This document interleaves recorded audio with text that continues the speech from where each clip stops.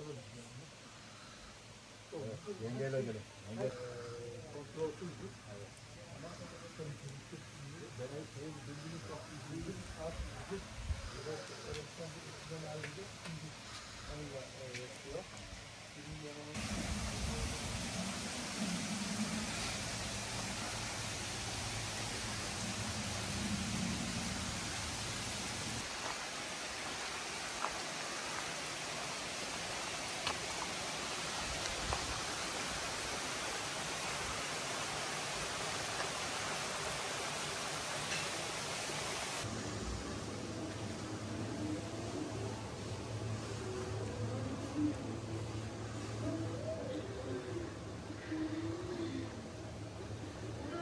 Bugün Bartın Olur Aşağı Çerçi köyünde Süre Dağ evindeyiz. Gülbahar Hanım'la burada tanıştık. Çok güzel bir ahşap yapıdan bir otel ve açık hava bir restorandı. Burası ekoturizm amaçlı yapılmış. Doğa severlerin, tabiat aşkı hissedenlerin mutluluk hissettiği, mutlu olduğu bir yer. Ben ilk defa geliyorum. Burada yeşilin her tonunu görüyorum. Ayrıca su sesiyle kuş sesi ve hemen yanımızda hayvanların boğazına takılan zil sesini üçünü bir arada duyunca tabiatın tam içinde olduğumu hissediyorum. Sevgili izleyenler, e, şu an biz burada rolleri değiştirdik aslında. E, Ben genelde kameranın önünde olurdum ama bugün benim yerimde orada Sabri Bey var. Barpet Başkanı Sabri Avcı var. Niye diye soracak olursanız sebebi şu. Sabri Bey buraya ilk defa geldi. E, Drahna'da Keşkek Festivali'ne gittik ve Ramazan Bey'in tavsiyesi üzerine buraya geldik.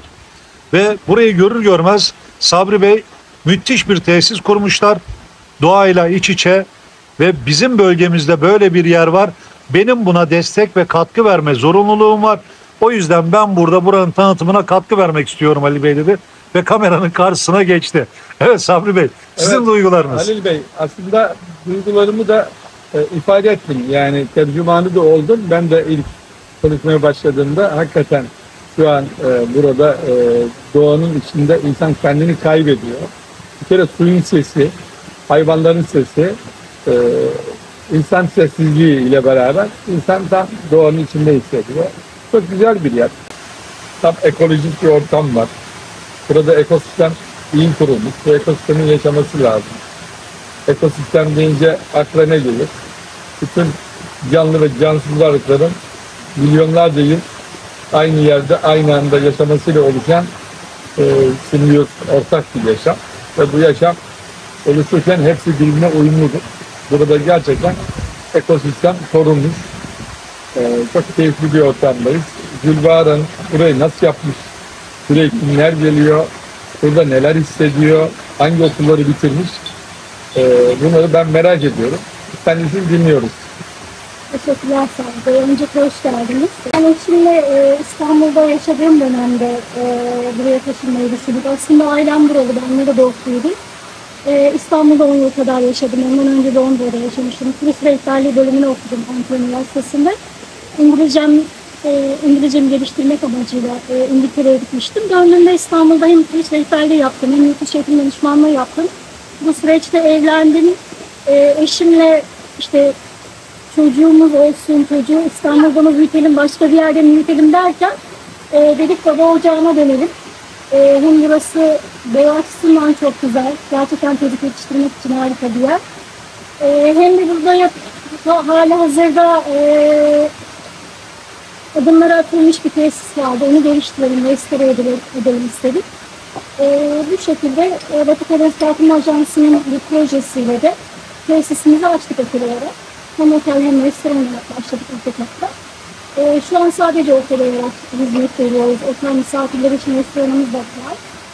Ee, burada biz e, tesisimizi büyütürken veya işte e, hazır hale getirirken de doğaya minimum müdahale ederek her şeyi dizayn etmek istedik.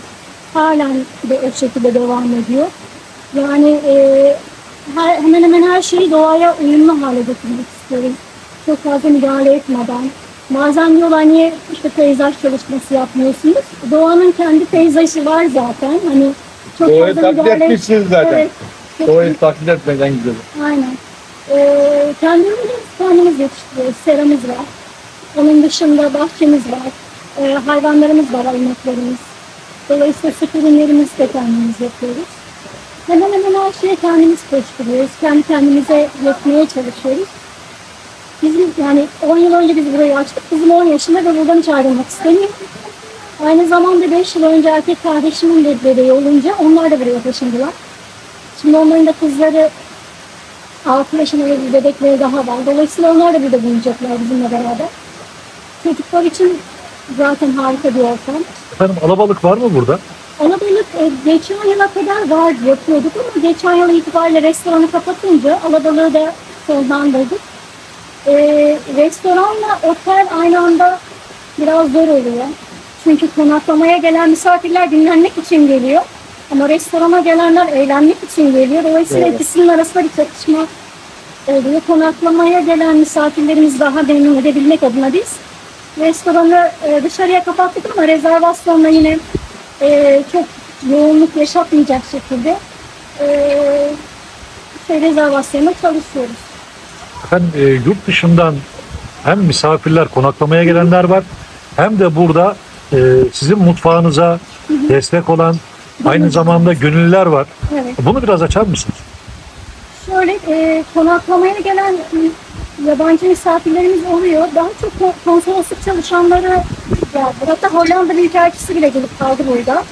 E, ateşeler falan da geliyor veya vize çalışanları konsolosluklardan genelde gelen oluyor veya işte e, Batı Karadeniz, daha, daha doğrusu Karadeniz turu yapan, yani buradan Gürcistan'a doğru gitmekte olan misafirler de uğruyor. Ee, bir de bizim gönüllü yani ilk açıldığımız yıldan beri gönüllüleri de ağırlıyoruz burada. Geliyorlar burada bir iki hafta kalarak e, günlük işlerimizde bize bir iki saat yardım ediyorlar. Bunun karşılığında burada e, konaklıyorlar ve biz onlardan çok şey öğreniyoruz. Çünkü e, ya farklı yemek kültürlerini tanıyoruz. Onlar onlara kendi mutfağımızı öğretiyoruz. Dolayısıyla oldukça e, hoş deneyimler yaşanıyor. Şu an dünyada en önemli e, konu gündem iklim değişikliği. İklim değişikliği artık hayatımızı çok zorlaştırıyor. Ciddi bir kuraklık başladı Akdeniz'den Karadeniz'e doğru. Önümüzdeki yıllarda Karadeniz'de turizm çok daha etkili olacak. Çünkü su var, soğuğu var, halen yağmur var. E, ve 2030 yılından itibaren e, karbon ayak izi vergileri geliyor. Bu ne demek? Artık havaya ne kadar karbondioksit salıyorsak o kadar karbondioksit depolayacak, observe edecek Ee, ama ormanlar ama yenilenebilir enerji kaynakları ile e, nötr e, karbon dediğimiz yani atmosferin bir buçuk derece e, ısısının azaltılacağı bir önlem tedbirleri geliyor. Birleşmiş Milletler bunun üzerine çalışıyor. E, bu nedenle e, artık ormanlar e, odun amaçlı değil, karbon amaçlı kullanılacak. Odunun değeri metreküp 200 dolarsa karbonun değeri 2000 dolar olacak. Böyle olunca buralar çok iyi korunacak. Yani odun üretiminden çok karbon üretimi olacak. Ee, ve insanlar böyle yerlere gelecek. Doğa severler, botanikçiler ve dünyada böyle yerleri arayan çok insanlar var. Buraların tanıtılması lazım. Ee, Gülbahar Hanım İngiltere'de kalmış, İngilizcesi var, birkaç üniversite bitirmiş ve burayı da çok sevmiş, işini çok seviyor. Ben bu programın yapılmasını daha çok Gülbahar Hanım'ın ve Kule Dağ Evi e, tesisinin tanıtılması, tanıtılması için buradayım. Biz Bartın Dernekler Federasyonu olarak e, Bartın'a değer katan insanları ve Bartın'a değer katan turistik tesisleri tanıtmak gibi bir görevimiz var. Bence böyle bir görevi de ifa etmiş oluyoruz. Güzel bir gün. Size de teşekkür ediyorum. Biz, biz şu anda tekrar tekrar tekrarlayalım bunu ki insanlar buraya nasıl gelecekler? Biz neredeyiz şu an? Biz şu an Kule Dağları Milli Parkı'nın giriş noktalarından biri olan e, Bartın Ulus ilçesi Aşağı Çerçuköy'ündeyiz. Milli Park'ın birçok giriş noktası var. E, %51'i Bartın'da, %49 Kastamonu bölgesinde olmak üzere. E, Milli Park ilan edilmesi 2000'li e, yılların başlarında oldu ve e, bunda emeği e, çok geçen e, İsmail Menteş, Ercan Bey ve e, rahmetli e, Galip Arslan e, yani buranın milli park ilan edilmesinde oldukça yoğun çalıştılar. Daha sonra hatta burası Tam Park yani Avrupa'daki kampaklardan bir tanesi. Ee, doğal olarak zaten muazzam güzellikli bir bölge. İnsanlar yeni yeni tanımaya başladılar. Ee, yani daha çok yürüyüş yolları yapıldığında e, devasa projeler değil de daha doğayla iç içe projeler yapıldığında daha da güzelleşeceğini düşünüyorum. Çünkü şu an hep devasa projeler peşinde koşuyoruz niyeyse. Halbuki doğada daha minimal şeylerle de Çok güzel. e, bu işler yürür. Gülbahar Hanım'ın söylediği iki tane isim, hatta üç isim. Ercan Yeni ve İsmail Menteş orman yüksek mühendisi her ikisi ve her ikisi çok yakın arkadaşı. Her ikisi de bu bölgede çalıştıklarında hep beni aradılar. Bu Küre Dağları Bilim Parkı'nın müdürlüğünü yapıyoruz. Çok harika bir doğa var. Sen İstanbul'da duruyorsun ama biz senden daha iyi biliyoruz dediler. Rahmetli Galip Aslan da fahri bir ormancı, fahri bir doğa sever. Ee, ve doğa aşkıyla, memleket aşkıyla tutuştu. Onun da çok katkıları olduğunu hep söylerlerdi. Bugün burada bir defa onların da isimleri yad edildi. Onları da e, Galip Arslan'ı rahmetle, minnetle yad ediyorum. E, İsmail Menteş ve Ercan yeni arkadaşlarımı da sağlıklı, başarılı, güzel günler diliyorum.